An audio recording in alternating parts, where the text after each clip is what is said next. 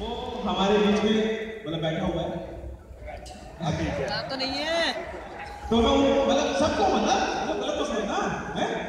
तो सुनाने जा रहा हूँ गाना। तो सबके लिए वैसे तो। लिए तो सो गाना।